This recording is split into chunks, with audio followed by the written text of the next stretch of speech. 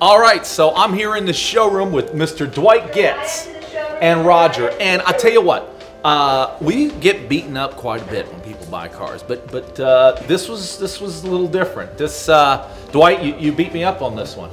Done it quite well. Yes, yes, you did. Yes, you did. So what did you get, Dwight? Uh, 2015 uh, Chevy Silverado, Regular cab, six cylinder, love it. Fire engine red. It's good looking truck. I mean, it's loaded. Okay, this thing's got all the bells and whistles.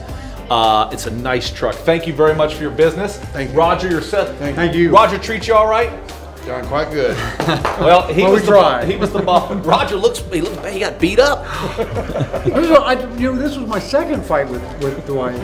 Well, we worked it out. We worked it out. If you if you got a buddy out there that's looking for a car, do you uh, uh, where are you going to tell them to buy their, their trucks or cars? Right here, SVG Greenville. Thank you.